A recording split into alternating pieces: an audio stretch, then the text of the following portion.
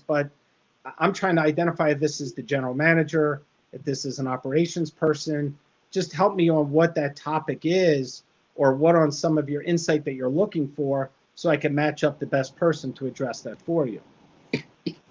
Once you get those questions, then you could build that message that you have and what is it that you want to answer and what is it you want to say. And I always try to prep people when they go into an interview with just try to remember three things because they maybe four, but three is usually the limit on what people can retain if you're going into an interview and trying to remember something. So what's the most important thing if you're if you're talking about an event is is a brief description of the event, when it is and how to buy tickets. Those are really the three things. If it's about what we're going through now, the health, the comfort and safety of our guests and artists and performers is always our top priority. That's number one. Number two, we're doing everything possible to make sure that we adhere to make to address that our guests, our artists, or patrons are safe when they come here. And three, the last point is any steps that anyone would need to take. It will be posted on our website and on social media. I don't think you need to get into all of the minutia of what you're doing, especially as a lot of restrictions have been reduced at this point. Um, if we had had this discussion maybe a week ago or a month ago, we may have had a, a, little bit deeper discussion, but I don't think you have to get wrapped up in all of this explanation of what we're doing when there are less restrictions. And I know there are some states that, that are still restricted, but if you look at Pennsylvania, Connecticut, Texas, Florida, there, there are no restrictions. California may be a, a little different. Um, a few other reminders when you're when you're eventually doing the interview, and, and what I would recommend is role play. I've done this a lot with with, with my um, clients or GM or those that are going to do the media interview. Is I'll I'll I'll act as if I'm the reporter and I'll ask that GM a couple of questions and I'll I'll give them practice. And don't be afraid to critique it. If you don't think that that person is answering the questions the best way possible, work with that person because again as i said at the beginning we're talking to the customer here. So what i tell people is if if you can get excited about your event your event will be exciting. So get excited when you're talking to the media. If this is about a show or bringing people back if this is an unfortunate situation an unfortunate situation so can show concern show compassion. But i think if you can get somebody excited for what you're talking about and your spokesperson is excited, people will want to come and see an event. So that's those are kind of the tips that I would offer. But I, I thought what might be best is just kind of open it up and and have a discussion. I remember going to some of these roundtables at some of the arena marketing conferences and and doing it like this and just sharing examples and, and sharing questions and answering them might was always one of my favorite parts of attending the sessions. So if there are questions, I could I could answer them. You might have to unmute to ask one. I, I know um, besides COVID, because uh, you're right, a lot of this information, it changes daily. And now it's just gotten so generic that we're just basically saying we're going to abide by the recommended guidelines, whatever that is that day, you know, because it changes so much. Um, but what I'm also noticing, I don't know if you are, when I'm prepping my execs, obviously there's big on the DEI conversation as well as sustainability. Those are huge hot topics. And we just established a DEI work group. So we're still kind of working through it a lot. So we've been able to put together some messaging, but have you noticed that a lot? Those have been on top of COVID, huge topic, topic topics on everything. Like I nominated somebody for 40 under 40 yesterday, and those two things came up they are starting to percolate as as more of the topics. And i and i would say is don't force something that isn't there yet. If it's something that you're working on that's good. And be, don't be afraid to be honest with somebody and say um, this is something we're putting together. This is something we're working on. We're building a task force to address this. These are things that we're looking into.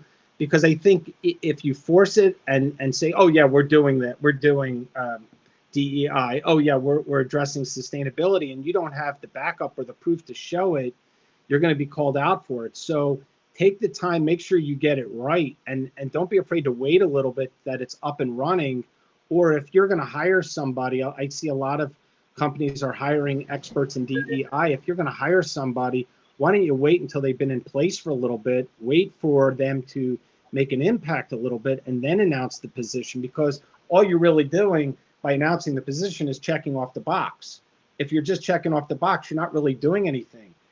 Show the impact that you've made. Show what you're doing. That that would help out a lot.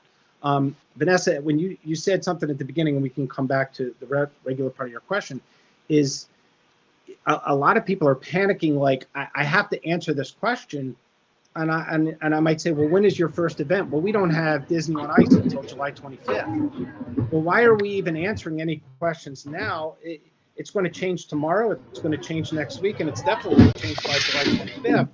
So it's best to just direct them to our website and say, if you're coming to X venue to see Disney on Ice on July 25th, anything you need to know will be updated regularly on our website. So I, I think it's you don't have to rush to answer right now. Yeah, absolutely. Good point. It's of course just a topic. You know, we're announcing shows. God, I mean, I, Aaron Miller and I, we work on, and I, I don't know, some Staples Center people. We have like, seems like 50 shows a day that we're announcing. Everybody right is. now. Everything's and coming so back. everybody's like, well, what are the guidelines? What are the guidelines? But but you don't. But, but you're not the health. You're not the. You're not the CDC. The I, I don't know California, but in Pennsylvania, there are no longer restrictions. Everything's open. So why do I have to tell you what the guidelines are? There's no more restrictions. So it's like anything that you would need to know to come to the venue is on our website. That's the answer. You don't have to get caught up into it because what you're going to do is you're going to put somebody on camera that's going to say the comfort and safety of our guests is a top priority. Uh, we're sanitizing the building. We're doing all this, and then they're going to push back and say, "Well, aren't you worried?" Well, then what are you going to say? Then you're going to look scared, or you're not going to have an answer. So I, I would rather less is more in this situation. I don't think you need to put somebody, a GM from a building, to talk about all the preparations you're doing for a show that's not happening for a couple of weeks. Like you could you could show them the day it's happening and just say, hey, the the X venue is reopening today as Disney on Ice opens a eight show run or whatever, and let media come down and watch. But I don't think you. I, hope I'm helping people here by telling them you don't have to stress out about explaining everything right now. I think the website and social should help you if you if you're feeling pressure to answer it and the event is tonight, that's a different story.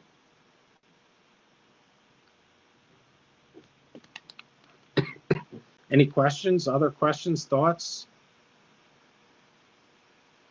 I'm looking through the chat to see if anybody has anything in the chat, but don't be afraid, you guys. I, I, there's so many great familiar faces. It's so fun to see so many of you. I wish we were in person. Um, but I love seeing all these faces, and I'm sure you all have your own individual issues that you're dealing with. How has it been? I, I know you've been opening a bunch of new venues. How has that process been? Well, the, the venues that OVG is opening haven't opened yet, but New York opens in the fall. But it's it's taking all of the precautions that are necessary, as as we've been saying. But it's it's new ventilation, or is it new? Is it um, contactless tickets? Is it contactless concessions? Those are things that you could bring up, but I, I think all of that can be explained on your website or social. Is you if you think it's necessary to bring in a media person and show them all the things that you're doing, that's okay. But just be prepared that they may ask questions that get dive real deep into this or ask you more than you're prepared to answer. And and I think you could get away with it just saying that the event's open tonight. Let the customers talk. Let the customers share their experiences on social and let the customers really rate because most of our business is word of mouth. And I think it's it's different now in today's society that they all they're all on social. They're sharing their experiences the minute they walk in to the minute they walk out. And I think they're speaking to our customers that way for us.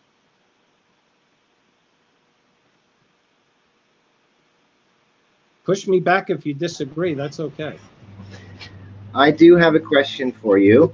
Sure, Joe. It's uh, Gerald Parker from First Class Group Tickets. We work with promoters and venues across the Canada, all of which are in different phases of reintegration post-COVID or at, at the latter stages.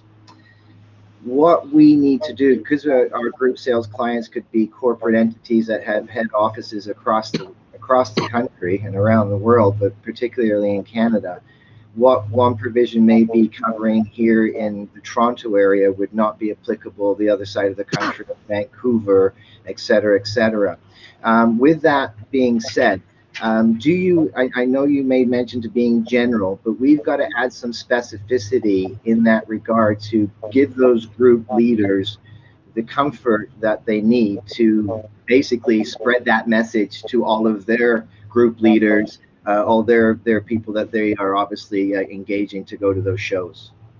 I, would just direct them to the venue websites because you, you're not at the venue level if you're at the if you're the ticketing company direct them to the venue and just say we're working with all of our venue operators who have posted all the safety requirements or guidelines or restrictions on their website and social media put it back on the venue and let the venue guide that i, I think that's the safer way because it, where you are up in to is different than montreal halifax eh, all across the country let let the venues be that that guide for you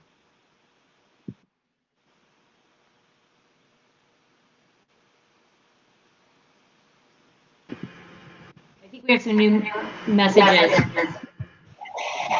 I can't see messages, but if you if you want to Okay. share them, please let me know. Uh, this is from Gerald. We work in different jurisdiction jurisdiction across he just Canada. he just All asked in- that he just asked. that. Oh, sorry, sorry. I missed. Okay, I'm trying to multitask here. Gerald's still upset that the Canadiens beat the Leafs. He's still upset.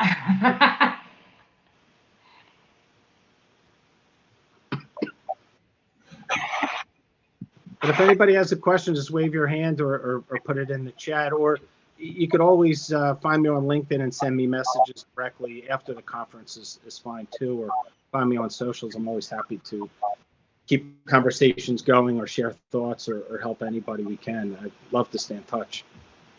Have you found that um, some of the local TV crews are are are good to utilize coming into the venue to like kind of do a walkthrough one on one to show them maybe like some of the ven- what the venues are doing new, whether it be Well, it- grab it and go can- concessions. It can Whatever. be, but it, it can be, but we're not we're not there yet for some of the venues. So I don't want to bring anybody in until we're there. Um, I'm, I'm based in Philadelphia, and I, I used to be at Wells Fargo Center. I'm no longer there, but they recently opened at full capacity uh, this past Sunday for a, an NBA playoff game.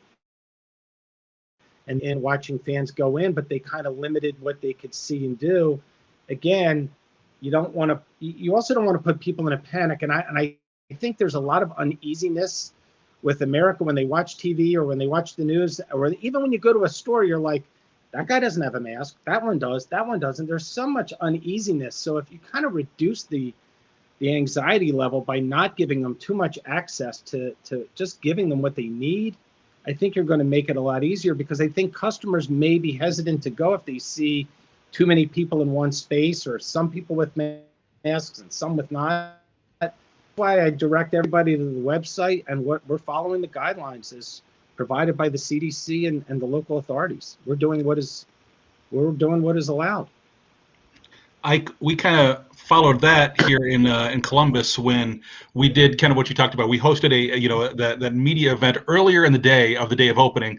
We had a tremendous number of media requests to come out and be in the concourse as fans came in, and we turned all those down because we didn't want the narrative to be the camera turning towards just like you said that that guy that doesn't have the mask or the issue with the guest attendant. We didn't want that becoming the story. So while they did come out and broadcast live from our plaza, that was a very different. Uh, uh, they had plenty of B-roll to cut to uh, from the media stuff earlier in the day. We don't usually let media just roam the concourse and film stuff uh, on another time. So we didn't think we wanted to just go ahead and just not do that once we started reopening for for fans at the venue. So I think think you're right on there. Thanks for sharing that. That that's that's great. I, I, I I'm agreeing with you that you we control the message. We control what we want to control. And I'm I'm not I'm not trying to be anti-media. I, I love the media and I'll do anything the media wants. And, and most of my friends on this call know that. But I think in this in this world today, we have to be a little bit more disciplined on what we want to allow because we're controlling it now. We we have the ability to control it on our social media. We can make sure we're we're dictating what that message is and the ones that need to know it most are our customers and we're reaching out to them directly via email on social and on email and let the media pick up that story they're to I've seen that a lot. The media just pick up so and so website said to do this, or or the venue said this according to their website. Any other messages, Vanessa? Yeah, I think um, a, a good point on that, which you can definitely talk to. You know, we did a bunch of drive-in concerts, and we, per me, I just made up the rules, and I basically limited it to three photographers per show because I wanted to be able to escort them and control what they were shooting. Because oh, John Vina just joined. We gotta drive in with John. Anyway, um, And um, I'm sure you could talk to that too. It's just controlling the photographers right now. And well, the, the and photographers, the photographers, and I'm talking about the ones that you get the email from. I have a camera. I want to come shoot the show. Yeah. Right? We all get that guy. It's like I have a website. I want to come shoot the show. We're not. We're not going to be able to accommodate those like we used to because we just times are different. And and I think we could get away with just offering a house photo have a house photographer there and allow just say hey if, if you need a photo for your website we'll be happy to, to supply one and you watch how fast most of them go away um, when we had the drive-in concerts this past summer in philadelphia there was a lot of uh, expectations from people. They, they hadn't worked shows in a while. They love music. They want to be there. I didn't want to have 15 freelance photographers there. I said there will be no photographers but we have a house photographer and we approved what shots went out. We and we let the artist approve what shots went out, and those are the only shots that went out. We got great coverage. Every website used it, and we didn't have to worry about. Well, they're taking picture of people out of their cars. They're supposed to be in their cars, and this guy has a mask, and this guy doesn't have a mask. Too hard to police that, so we just reduced the number of photographers. Yeah, we we um Vanessa speaking back to the uh, to the and, and apologies for for coming in late. Um, speaking back to the drive-throughs last year, our first drive-through, we turned down CBS National uh, to cover it for all the reasons that everyone just described. But um, but what they did was Right. come in the next day with Jim Gaffigan uh, as a you know as one of their correspondents and did their own thing, and that actually worked because obviously they want to paint him in a good light. But it was our first ever drive-in th- uh, show. It was one of the first in the country back in uh, July 7th of last year. We had no idea what was going to happen. We had no idea if Bruce Springsteen was going to show up, as is always rumored uh, for shows in, in New Jersey. We had no ideas if you know if people were going to come out of their cars and, and storm the you know stage. So there was a lot of care taken, and in the shows that we continued to do last summer into this year, we really have also kept it a media free zone.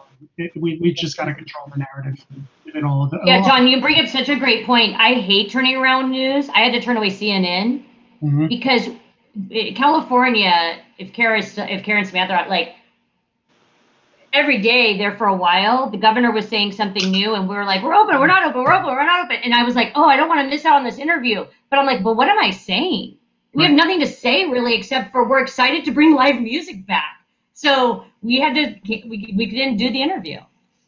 You're right, and and John, thanks for sharing some insight there. We're, we're not we're not we we just we're not what we were last time a year ago. We're a little different. We're a little hesitant because we don't have all the answers, and I don't think anybody does. And I and I think we're you know shows are coming back, but we might be six months away from being back to what we once were. I, I don't want to put a number on it, but I just think we have to wait a little bit longer in, in allowing all that access and explaining all that. And I think let the customers come in let the customers have a great time let the customers share their experience and and their positive vibes will bring more positive vibes and more people will come in and, and just use social media and just i think that's the way to go right now less is more less is more right now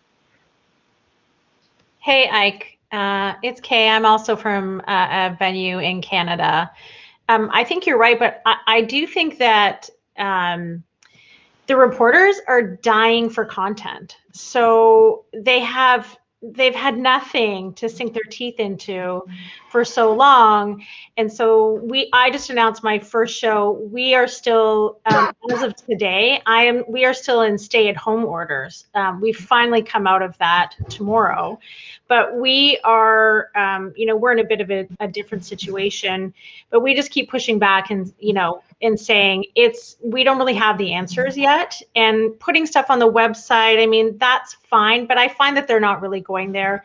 They want they want the venue spokesperson. They want to hear from us. So even if it's just saying the venue spokesperson, you know, this is what they had to say and it's follow your public health guidelines. The question I'm getting from fans and, and reporters are, do you need to have your vaccine before you can come back into a venue?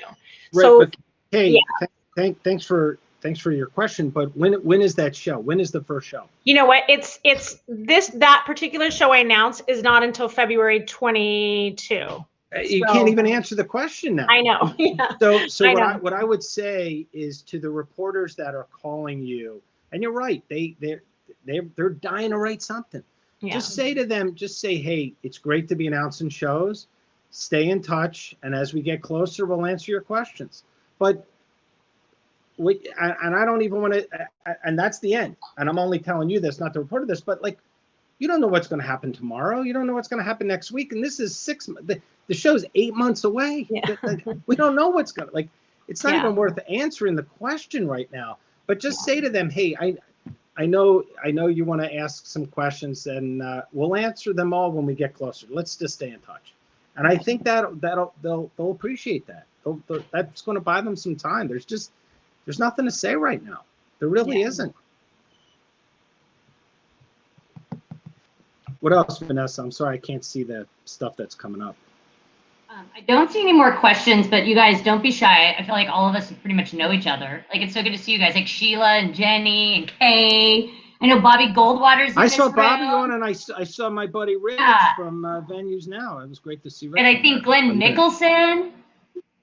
And I mean, come on, you guys are chatty normally. Veronica's in here, Rich, Nina's in here, Anna Wong, Quinn Kim. That's good. We can it, it, look. We can keep the conversation going all all year long, and you know whatever. We can do a Facebook chat or LinkedIn comments, but I think it's just. I think it's share what we're all going through, and I think we're all in this together. And I don't think anybody has to come out of the gate. And and and Kay, I don't mean to call on you, but you were the last one to share a comment. But I don't think we all have to come out of the gate and talk about our shows that are not happening for a while. It's just, hey, we're excited to be announcing shows. It feels great. And stay with us. We'll be sharing some measures people have to take when we get closer. But for now, just keep an eye on our website. And, um, this is Nina Jackson. I'm at NRG Park in Houston. Um, and I'm just going to jump in. It's not really a question, but it's just a, a comment. We had a situation where um, our governor uh, has been, you know, no mask and let's open up 100%. Our local government, and we're a county owned complex, uh, so the, the local county judge, who's head of the, the county, and our mayor have both been more uh, conservative and you know wear a mask and you know distancing and 25% capacity and all this. Well at one point the governor came uh, had a press conference and said we were 100% he was opening up texas 100% and literally right after the press conference i had a tv station call me like i think it was cbs affiliate or something asking you know if we were if all events were opening up you know. And so really it was just a matter of saying I can't remember who the name of the girl that called from the assignments desk, but basically it was we're hearing this information just just as you are hearing it right now. We're gonna process it and then you know we'll we'll move forward and then you know we'll get back with you. And so she kind of started laughing. She's like, Yeah, I guess yeah, I guess you're right. Yeah, Nina, that's that's the answer though. That's that's the answer. And we and heard it just now, just like you did. So the reporters doing their job. yeah, And and every time the restrictions change in one of our markets, you get the call right away. And Right. it's like, we don't have a show for another month. Like, yeah, we don't need to address this right now. We we have time, or like you said, we're just getting this information as well, and Yeah. uh, we're processing it, and we'll, we'll let you know if anything changes. But, and then it went away and she never called back. It went away. She never did call yeah, back. but but it, Yeah. again, again, I, I kind of brought this up at the beginning that some of us might be experiencing some anxiety about how to address this or how to answer these questions, and and I don't think you have to worry about it right now unless you have an event tonight. You got time, unless you unless you're like pressed for somebody's standing outside, and, and I've had a venue where a reporter showed up, like like Nina mentioned. I said they they're, we're not going to say anything right now. There's no event here for a couple weeks. You can get a show calendar update information on our website. Thanks for coming, but take your time. Take your time. I see nodding in agreement, so that's cool.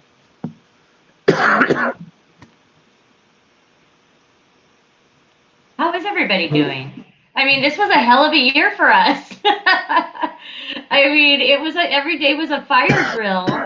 And I think for PR, it was so much more work. It's still so much more work communicating.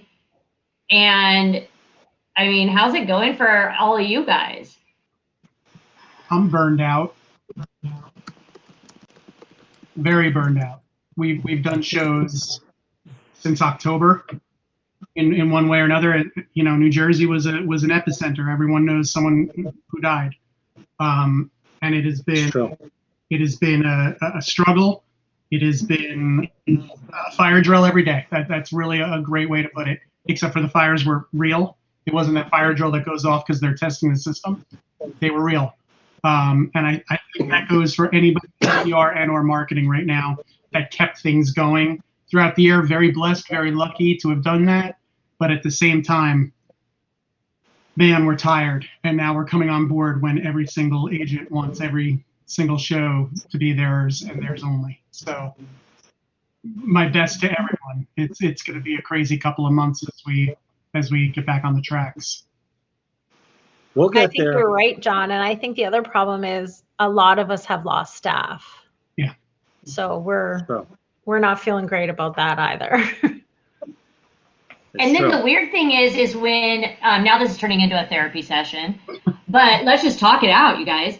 You have you have the us that are burnout. We haven't stopped, and we're covering for the staff that we lost. Now the staff that we lost is coming back and are kind of gung ho, and they're getting up to speed, and you're just like you just don't have the energy. it's a weird, it's a weird dynamic with staff too. You know. It is. I, I lost one person due to, you know, the furloughs and layoffs. But then the other two, I had two people just leave because other companies lured them away for more money. Mm-hmm. So I've gone from a department of five to a department of two. And literally, I am beating my head against the wall and crying every day. But so, we, we and so probably also the therapy. we probably also have people who lost people because they didn't believe our industry was going to come back. Mhm. I was going to I say think that. you're on. No, I, I was going to say that it should be a topic at the conference, maybe not in this breakout, but I think we have to reevaluate how we did events before and how we're going to do Yeah. them now with a smaller group and find new ways to make people work in different capacities. But again, I, I, I think social media is, is so valuable that, and hopefully everybody uses it to the to really uh, maximize what they're doing. But but I don't think you have to put out a press release for every show you do anymore because I think the artists are posting it on social. If you just put it up on social, the media is following you. I hope they are, and they're probably going to say, according to venue X or NRG Stadium, uh, the the rodeo is on tonight or whatever because you put it on your social. So find new ways to make things work and make it easier for you, and and you'll find that it, it, it's not going to be so bad. I have one other thing to say that I just did with the show that I announced. Sure. Um, I reached out to the promoter first just to make sure it was okay because who knows in this day and age. But I knew that my media would be dying for content. So I asked if I could send them an embargo press release. And I just used it as an opportunity to start building that relationship again with the media to say, hey, this is what's happening. This is what's going on. I know you've been dying. I follow you on social. You follow me on social. So I know that you're desperate for content. So it was a it was great for me to do. So I would just throw that out to anybody who hasn't who hasn't had that opportunity yet. It was super successful for me. And so the second that show was announced, it came out with a huge story. And you know, thankfully, I'm only 400 tickets away from selling out this show. So I don't know. People are Okay, that's great. Thank, thanks for sharing that. I, I do that a lot when, when promoters will say, excuse me, we're announcing this show at five o'clock today. And it's like, you can't announce it until five o'clock today. Well, that doesn't help on deadlines. And so what I a lot of times will do is, is issue it on embargo and, and send it at noon and just say nothing till five o'clock so that the, the newspaper website has it, the five o'clock news has it. So when that announcement goes out at five, it's everywhere. So sometimes, I, if if other markets aren't doing that, I, I strongly suggest doing that because you're right, Kay. You get you really open up a, a create a good relationship with the reporter and other media members, and it get, makes them feel special. And and you'll find that that announcement grew from just a radio drop at five o'clock to everywhere. Yeah. So thanks for sharing. That was awesome. We're running out of time, Vanessa, and I don't want to just abruptly end the conversation, but I've enjoyed sharing some thoughts, and I and I appreciate people chiming in and asking questions, and hopefully people found it informative. Again, I'm I'm on LinkedIn. I, I don't know how to. Oh, here's how you can say something. I think I'll enter my email, and if you have questions, you could just email me, and we'll keep the conversations going there. And anytime, or you can find me on social media. I think there's a EAMC Facebook group too, so I- I'm in there as well. So Yeah, thanks. No, thank you, Ike. It's always good to see so many of you guys and get caught Yeah, up. I, think all asked- of us are in the I- I same saw that. Dave. Gro- I saw that Dave Grohl was on yesterday, but I have David Lee Roth, but he's not available till about 4:15, 4:30, so he might miss the call. So I'll tell him all that you said hello. Thank you. Just being. You can have David Lee Roth join our happy hour tonight. That'd be fun. He could be our surprise guest. Surprise Dave's every day. That's right. Dave Matthews on Friday. Yeah, we got a different Dave every day. All Dave, all night. It wasn't it Dave TV? Remember David Lee Roth? It was, that it TV? was. Right. David Lee Roth, you could ask him one question and I'll keep talking for about four hours. You wouldn't have to do anything. He, he's he just has everything to say. It's great. Um, I was just going to piggyback real quick on what Sure. Kay was saying. I think, yeah, it was Kay that was saying about the embargo. I love an embargo. Um, I, I, I just did. I give. I'd like to give somebody an exclusive. so like, breaking news. I just gave Pollstar like an exclusive that's going to break uh, for Friday. Worked out all the interviews. It's important also for you guys. I'm sure a lot of you know this, but like to know when the editors meet. So like Pollstar, they meet at like 10:30 and they decide they assign writers and stuff, and their deadline's Wednesday. So you got to get it in like Monday to get it in the magazine or Tuesday. So you get it in, you get your si- you know you get your um, exclusive, and then you set the embargo for all the other papers, and at least you have one, especially for something kind of big. So I'm sure all of you guys know this, but it's also important if you guys can remember that stuff. I try to avoid exclusives because it just it, it pisses everybody else off. So I just I just do everybody on embargo. I would just do that because I, unless you unless you're in a one mar one, newspaper town or one TV station town, I don't like upsetting anybody. Uh, If Rolling Stone or Billboard want to jump on with an exclusive, maybe, but I, I'd rather just do embargo. We I, I helped announce the Peach Music Festival in Scranton. It's a four-day um, live music camping experience with uh, mostly jam bands, and it's really the first festival to come back this year. So I dropped it as an embargo for everybody. There was no exclusives. And when we said the embargo was lifted at 10 o'clock, Billboard had it, Rolling Stone had it, everybody had it all at the same Pollstar. Everybody had it at the same time, and nobody nobody flinched on it. It's great. Yeah, I great work with that. That was everywhere here in Jersey when you drop it, and that's a solid two hours from from us, but everyone knew about it. Come on up the mountain, John. It's going to be great. Particularly in shows. Yeah, he's uh, he's doing his wake up with Warren, which is always a good way to wake up on a Sunday morning. It's fun.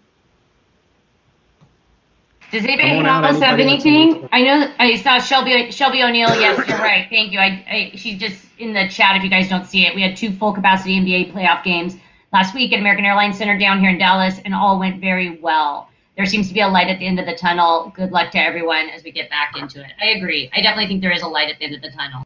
Yeah, yeah. I think it, again, it's like let let the let the events speak for themselves. Let the fans share the the excitement, and let the fans tell the story, and and the media will pick up on that, and we're we're we'll get through it. We'll get through it together. It's just just we're all in this together, and we're gonna have fun. So I, I know everybody's got to get to other sessions, and hey, look, it was great to see you. Uh, I saw Cindy pop in, and I I want to wave to Cindy. I don't see her anymore, but hi, she Tammy. was having to see you Wi-Fi issues. Oh, Tammy's on. Hi, Tammy. Tammy. That's good to see everybody. I just want to see everybody. Let's have lunch together. Fun. Yeah. Well, your lunch is different than mine. Yours, I already ate already. Three hours ago. Uh, well, thank you very much, Ike. Um, he put in his uh, email address if you guys have any questions, and then hopefully um, we'll see you guys at an, uh, the next session is same si- sort of format. So we'll see you soon. Great to see everybody. Stay safe. Stay in touch. See you soon. Thanks, Ike.